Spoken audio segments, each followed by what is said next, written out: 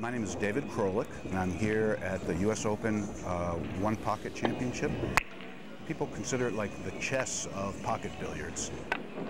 Each player is assigned one pocket on the table, and it's their goal to get eight balls into their pocket in order to win the game.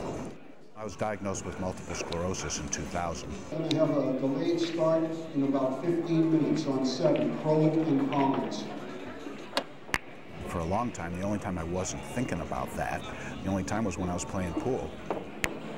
To play pool well at all requires being totally present, and it, it, doesn't allow you to think about the past or the future.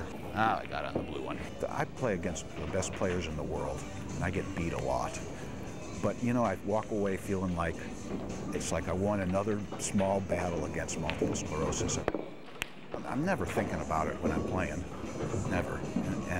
Whatever symptoms I happen to be having at that time, I stop noticing them.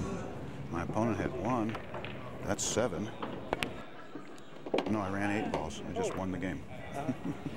when I was diagnosed, I decided that I would rather be dead. But after a while, I, you know, it's like that old saying, be careful what you wish for, because I'm having the time of my life.